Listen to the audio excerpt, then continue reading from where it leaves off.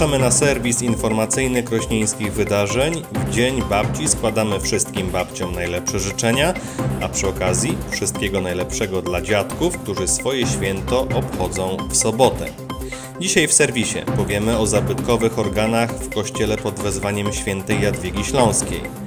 Ekstraklasa przyjedzie do Krosna Odrzańskiego. Osir Krosno Odrzańskie poznał rywala w kolejnej rundzie Pucharu Polski w futsalu. Zbliża się finał Wielkiej Orkiestry Świątecznej Pomocy. Sztab pracuje na najwyższych obrotach. Imieniny obchodzą Agnieszka i Jarosław w piątek, w sobotę Anastazy i Wincenty, a w niedzielę Ildefons i Rajmunda.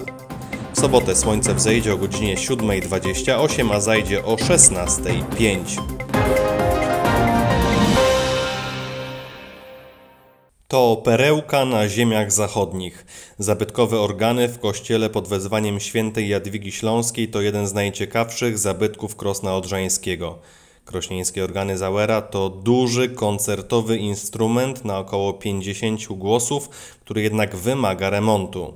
W obecnym stanie jest niegrający, y, jest tam dużo ubytków takich, że nie ma piszczałek. Y, część piszczałek leży w różnych miejscach porozrzucane, więc trzeba zrobić taką inwentaryzację. Niestety, organy są naprawdę w kiepskim stanie. Przez ostatnie lata sporo ucierpiały. Jest niestety dużo ślada, śladu po szkodnikach drewna i to jest niefajna rzecz.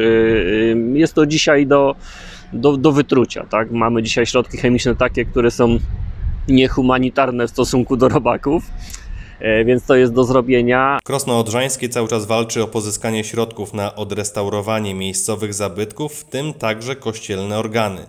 W zeszłym roku udało się pozyskać 15 milionów złotych w ramach projektu Piastowskie Dziedzictwo Świętej Jadwigi Śląskiej w Krośnie Odrzańskim. Część z tych pieniędzy będzie przeznaczona na renowację organów. Pracy przy instrumencie będzie dużo, bo elementów, z których składają się organy, jest wiele. To jest około 3-4 tysięcy piszczałek. Najmniejsza wielkości wkładu długopisu, największa około 5 metrów, 30 na 40 przekrój. Więc jest to bardzo duży rozstrzał, bo czym większa piszczałka, tym niższy dźwięk wydaje. Czym mniejsza piszczałka, tym ma wyższy dźwięk. I tych głosów y, mamy sporo, także możemy y, mieć y, różne barwy wydobyć z tego instrumentu.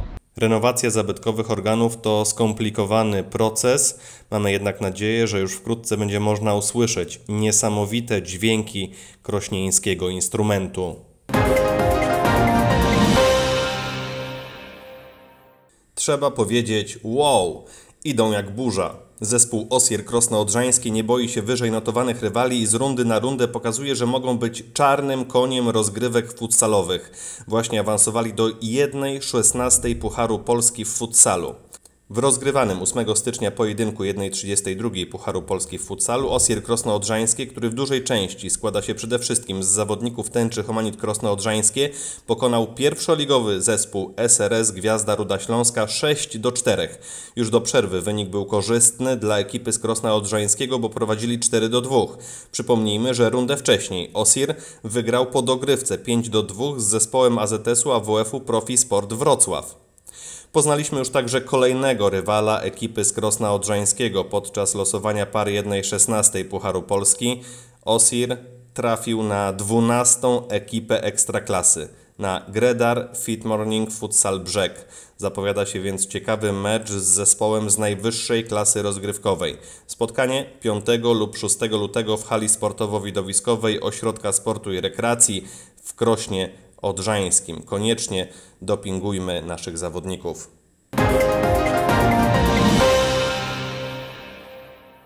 Wielkimi krokami zbliża się finał Wielkiej Orkiestry Świątecznej Pomocy. Także i w tym roku Krosno-Odrzańskie gra z Owsiakiem. Sztab Wość gminy Krosno-Odrzańskie już od dłuższego czasu przygotowuje się do finału, który odbędzie się w niedzielę 30 stycznia. Oczywiście jeśli pandemia koronawirusa nie pokrzyżuje planów organizatorom. O przygotowaniach do tegorocznego finału opowiadają Agnieszka Muniak, szef krośnieńskiego sztabu i Tomasz Miechowicz, dyrektor CAK Zamek. Przed e, halą widowiskową sportową e, będzie ustawiony telebim, na którym będzie można obejrzeć występy, aukcje, które się będą toczyły wewnątrz hali. Niestety do, wewnętrz, do wnętrza hali ze względów koronawirusowych wchodzą tylko i wyłącznie artyści. E, będziemy również cały ten sygnał nadawali do sieci, więc będzie można również wylicytować różne rzeczy w sieci, ponieważ będziemy stawiali to na konto, które jest e, podpięte do naszego sztabu. Planowane są różnego rodzaju występy i przedstawienia. To jednak nie wszystko, co czeka nas w tym roku. Nie zabraknie różnego rodzaju stoisk, które stać będą przed halą sportowo-widowiskową. Będzie stoisko z licytacją, e, stoisko z loterią, stoisko, w której na przykład e, radni Rady Miejskiej, e, które organizują radni Rady Miejskiej, w której będzie można kupić kiełbasę, a potem ją sobie upiec. Oczywiście używam słowa kupić, a tak naprawdę po prostu wrzucić uznaną przez siebie kwotę do puszki. Krośnieńskie studio WOŚP ma wystartować o godzinie 13, a zakończyć się około godziny 20. Wolontariusze z puszkami będą widoczni na terenie zarówno miasta, jak i gminy, a razem z nimi poruszać się będą rycerze. Każdy może pomóc w organizacji tegorocznego finału. Można upiec ciasto lub tort. Ciągle trwa zbiórka przedmiotów na loterię i licytacje. Przedmioty można składać w zamku, ośrodku sportu i rekreacji oraz mediatece. Mamy już złote serduszko, które jak co roku przekazuje nam pan Kolanko. Mamy obraz y, Jurka Owsiaka, który w tamtym roku licytowaliśmy, wylicytował zdaje się Dirks Mhm. E, oddał nam z powrotem ten obraz i znów będziemy go licytować. E, mamy diabełka, który podobno y, jakiś czas spędził na biurku Jurka Owsiaka z jego podpisem. No i wciąż czekamy na kolejne fanty. Tego dnia planowane są także aktywności sportowe. Wybierają się na kijki pod wodzą ekipy z Wojskowego Oddziału PDTK ludzie, którzy w ten sposób chcą e, zaakcentować swój udział w Wielkiej Orkiestrze Świątecznej Pomocy. Wymarsz e, o godzinie 12.30 spod hali widowiskowo-sportowej przy Puławskiego. O godzinie 10 ruszają też spod hali kolarze. Jest też planowany bieg. Tutaj godzinę podamy w przyszłym tygodniu i za ten bieg e, czuję się odpowiedzialna i świetnie, przynajmniej część ekipy z BBL-u, czyli zbiegam, bo lubię Krosno Odrzańskie. Im bliżej finału, tym więcej informacji będzie można znaleźć na stronie wosp.krosnoodrzańskie.pl, a także Facebooku Sztab WOŚP Gminy Krosnoodrzańskie. Po serwisie zapraszamy na wysłuchanie całej rozmowy z Agnieszką Muniak i Tomaszem Miechowiczem o tegorocznej odsłonie WOŚP w Krośnie Odrzańskim. Akcja Czysta Odra to międzynarodowa akcja na rzecz ochrony Odry przed zaśmieceniem. W te działania angażuje się KPWK, które niejednokrotnie udowodniło, że nie obca jest mu troska o środowisko i rzekę. To kolejna akcja, która ma uświadomić społeczeństwo, jak ważnym punktem na mapie jest rzeka. Zostaliśmy wytypowani na, na e, tak zwanego koordynatora tej akcji. I właśnie e, te działania sprzątania rzeki e, na e, odcinku od Nowej Soli do do Subic będą tutaj pod pieczą, pod naszą uwagą spółki KPWK. Inicjatorem i pomysłodawcą całego przedsięwzięcia jest Dominik Dobrowolski, wrocławski podróżnik i ekolog, który od wielu lat organizuje akcje na rzecz ochrony Odry, regularnie odwiedzając Krosno Odrzańskie i współpracując z krośnieńskim przedsiębiorstwem wodociągowo-komunalnym. KPWK e, witało go e, i jego grupę kajakarzy już e, kilkukrotnie. Te przyjazdy zawsze wiązały się właśnie z różnego rodzaju piknikami ekologicznymi. KPWK będzie pełnić funkcję regionalnego koordynatora akcji na odcinku od Nowej Soli do Słubic. Cała akcja sprzątania potrwa od 29 kwietnia. Do tej akcji zgłosić może się tak naprawdę każdy. To nie musi być zrzeszenie, organizacja, e, może to być klasa e, ze swoim e, wychowawcą. Takich akcji jesteśmy w stanie przyjąć 25 zgłoszeń. Już mamy pierwsze zgłoszenia zarejestrowaliśmy 7 e, akcji e, na tę chwilę. Zgłoszenie do akcji należy kierować na adres e-mailowy w.kliszewski-kpwk-krosnoodrzańskie.pl Więcej informacji także pod numerem telefonu 661 068 040. Warunkiem zgłoszenia do akcji jest wysłanie na podany adres e-mailowy informacji Imię i nazwisko koordynatora akcji, numer telefonu oraz e-mail, określenie na jakim odcinku Odry lub jej dopływów przeprowadzona zostanie akcja, określenie w jakim terminie zostanie przeprowadzona akcja.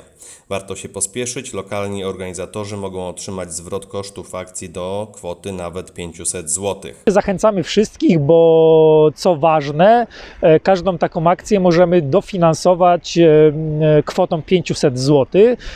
Myślę, że to jest atrakcyjne, bo nie dość, że posprzątamy rzekę, e, zadbamy o środowisko, o nasze, nasze lokalne krajobrazy, e, to dodatkowo możemy mieć z tego jakieś profity, czy Przypomnijmy, międzynarodowy czas sprzątania Odry od jej źródeł do Bałtyku potrwa od 29 kwietnia do 8 maja.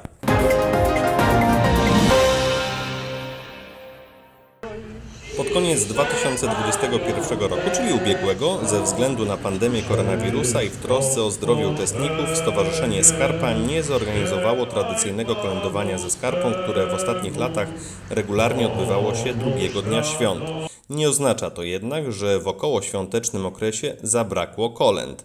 Centrum Artystyczno-Kulturalne Zamek zorganizowało koncert kolęd, pastorałek i piosenek świątecznych. Oprócz tego, pastorałek, które się pojawią w dzisiejszym koncercie, pojawią się w jego trakcie również e, piosenki zupełnie współczesne. Piosenki, które gdzieś e, ze współczesnego świata e, zawędrowały e, w kierunku Bożego Narodzenia. Niektóre e, mówią o takim zatrzymaniu się w czasie, e, o zatrzymaniu się nad sobą, o pomyśleniu o sobie, o tym, kim jesteśmy. Koncert połączono z akcją Bombkowa Pomoc, czyli zbiórką pieniędzy dla Powiatowego Domu Dziecka w Krośnie Odrzańskim. Podczas koncertu zorganizowanego w kościele pod wezwaniem świętej Jadwigi Śląskiej w Krośnie Odrzańskim można było wrzucić datek do specjalnie przygotowanej puszki, w ten sposób wspierając podopiecznych z Domu Dziecka. Dzisiaj też będziemy podróżowali muzycznie e, z zespołami, które są zupełnie od siebie różne, które na co dzień pracują e, w naszym zamku. Na scenie pojawiły się zespoły związane z Centrum Artystyczno-Kulturalnym Zamek. Jako pierwszy na scenie wystąpił zespół na Dodrze.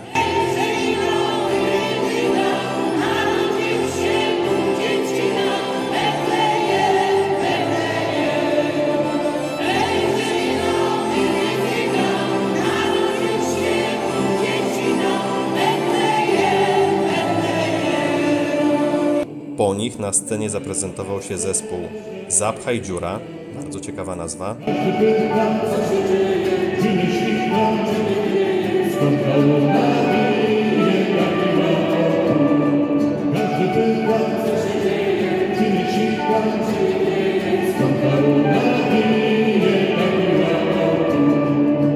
Jako trzeci wystąpił najmłodszy z zespołów Queens.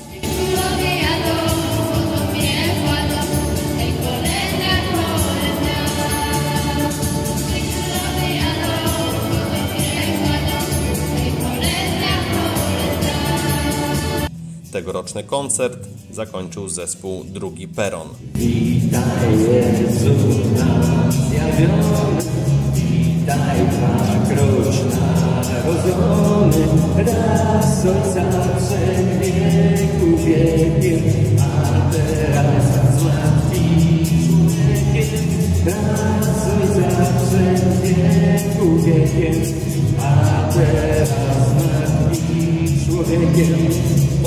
zapraszamy na retransmisję tegorocznego koncertu Kolęd.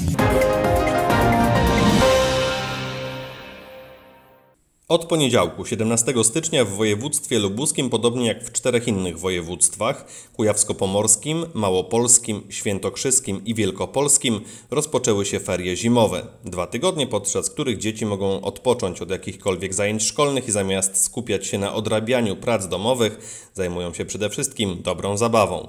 Swoją ofertę na czas wolny przygotowały krośnieńskie instytucje. Przez pierwszy tydzień ferii młodzież szkolna spędzała czas w zamku, na Osirze czy Mediatece. Aktywnie czas można było spędzić w hali sportowo-widowiskowej przy ulicy Pułaskiego, a także w centrum rekreacyjnym przy ulicy Pocztowej. Ferie zimowe z Osirem to różnego rodzaju gry i zabawy, a także bilard, squash czy kręgle.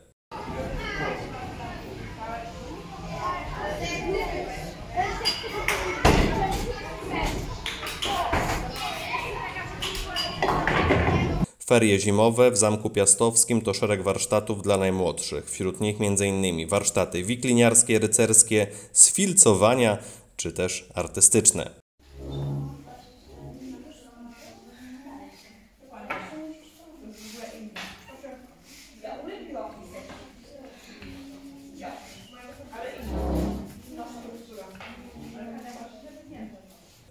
Ofertę dla uczniów przygotowała także Mediateka w Krośnie Odrzańskim. Przez ten tydzień można było obejrzeć film, zagrać w planszówki, czy nawet wziąć udział w turnieju w FIFA.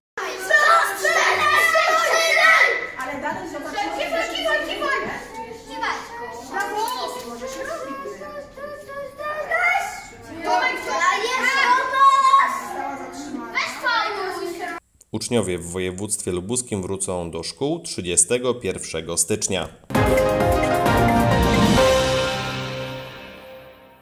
Czesław Niemen, a właściwie Czesław Juliusz Niemen Wydrzycki urodził się 16 lutego 1939 roku w Starych Wasiliszkach. Obecnie to białoruska wieś, przez co niekiedy Białorusini przypisują sobie Czesława Niemena jako białoruskiego artystę. Lista i jeden z najważniejszych twórców muzyki w Polsce.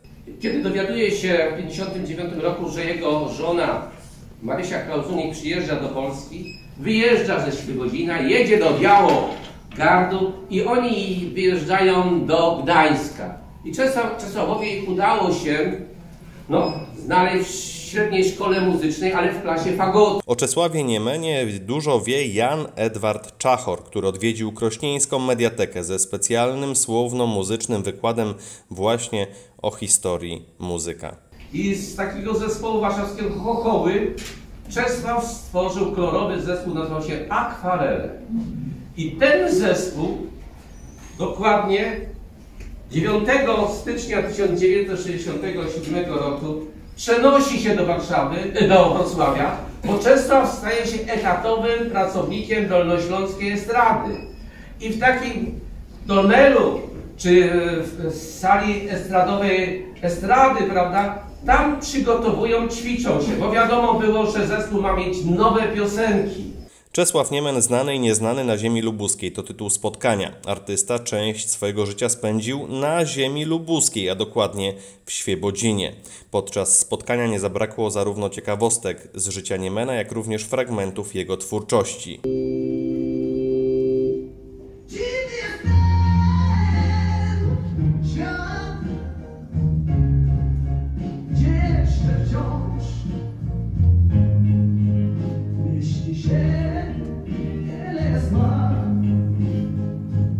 Jan Edward Czachor to wieloletni pilot wycieczek, regionalista i inicjator powstania pomnika Ławeczki Czesława Niemena, a także autor książki Czesław Niemen w Świebodzinie i prezes Stowarzyszenia Pamięci Czesława Niemena. Czesław 4 czerwca 1958 roku przyjeżdża do Świebodzina, proszę Państwa. Przyjeżdża do Świebodzina, ponieważ chce się kształcić w szkole muzycznej. Czesław Niemen zmarł 17 stycznia 2004 roku w Warszawie.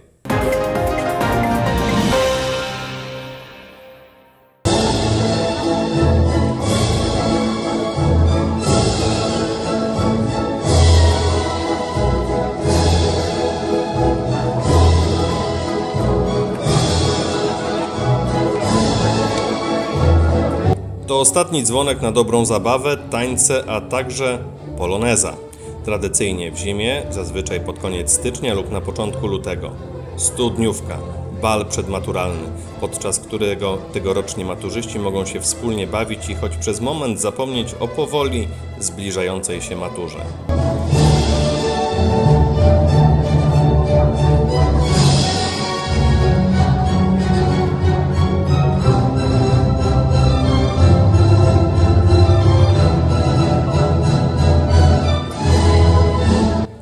Pandemii koronawirusa w tym roku studniówka zespołu szkół ponadgimnazjalnych w Krośnie Odrzańskim odbyła się. Tegoroczni maturzyści bawili się doskonale, a przed nimi jeszcze tydzień ferii. Potem ostatnia prosta do matury.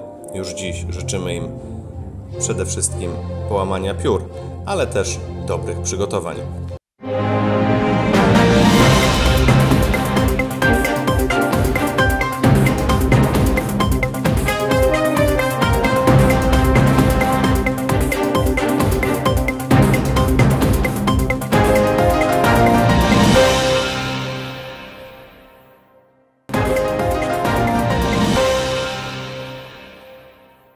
Okres zimowy to czas na piłkarską rywalizację w hali. Hala sportowo-widowiskowa w Krośnie Odrzańskim w ubiegły weekend gościła szereg zespołów z województwa lubuskiego, które zostały zaproszone przez piłkarską tęczę.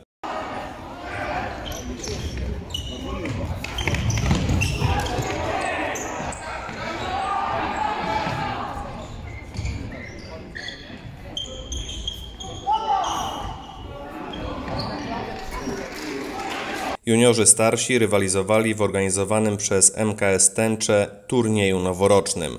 W zmaganiach udział wzięły dwie drużyny Tęczy Homanit Krosno-Odrzańskie oraz młode ekipy przyjezdne. Odra Nietków, Budowlani Lubsko, Polonia Słubice, Ilanka Rzepin, TS Przylep i Pogoń Świebodzin. Ostatecznie zwycięskim zespołem okazali się goście ze Słubic. Drugie miejsce zajął pierwszy zespół tęczy Homanit Krosno-Odrzańskie. Podium uzupełnili Budowlani Lubsko. Na dalszych pozycjach sklasyfikowani zostali kolejno Odra Nietków, Ilanka Rzepin, TS Przylep, drugi zespół tęczy i Pogoń Świebodzin.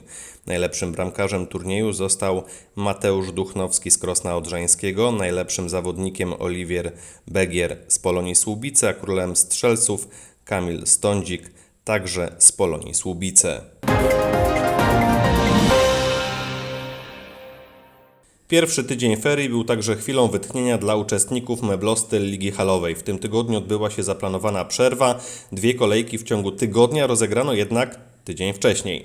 Najpierw w środę odbyła się ósma kolejka. W pierwszym zaplanowanym meczu Tęcza Junior została wręcz rozbita przez zespół Mikubi. Mikubi zwyciężyło aż 14 do 1, wykorzystując niemal każdą nadarzającą się okazję do zdobycia bramki. Wyrównany mecz hurtownia King HB Bruk Budachów zakończył się ostatecznie zwycięstwem mistrzów z ubiegłego sezonu. Hurtownia wygrała 2 do 1. W trzecim meczu ósmej kolejki Crossbud bez straty gola pokonał zespół Nowa Term 7 do 0. Pauzował zespół Lucky Polkan. Dwa dni później, bo już w piątek odbyła się dziewiąta kolejka, a w niej niestety zaledwie dwa z trzech zaplanowanych pojedynków. Najpierw jednak zmierzyły się ze sobą ekipy Nowa Term i hurtownia King. Spotkanie zakończyło się wynikiem 5 do 2 dla hurtowni. W drugim piątkowym spotkaniu HB Bruk Budachów pokonał czerwoną latarnię Ligi Tęcze Junior 4 do 0. Nie odbyło się spotkanie Miku Bilaki Polkan. Polkanowcy nie dotarli na halę, przez co mecz został zakwalifikowany jako walkover dla Mikubi. W tej kolejce pauzował zespół Crossbudu. Po dziewięciu kolejkach na czele meblosty Ligi Halowej znajduje się hurtownia King. Mają punkt przewagi nad zespołem Crossbudu i cztery punkty nad Mikubi. Dziesiąta kolejka zaplanowana jest na środę 26 stycznia. Trwają zapisy do organizowanych przez Ośrodek Sportu i Rekreacji w Krośnie Odrzańskim LIG. Każdy może się zgłosić by wziąć udział w zbliżającej się Gama Krasowski Liga Kręgli, a także PSB Mrówka Krosno-Odrzańskie Liga Skłosza. Obie krośnieńskie ligi odbywać się będą w Centrum Rekreacyjnym przy Pocztowej, a zapisy trwają do poniedziałku 24 stycznia. Wysokość wpisowego uzależniona jest od liczby zapisanych zawodników. Zapisy przyjmowane są w Centrum Rekreacyjnym. Spotkania organizacyjne odbędą się 25 stycznia. Liga Skłosza o godzinie 18, Liga Kręgli o godzinie 19 w Centrum Rekreacyjnym Osir przy ulicy Pocztowej 27.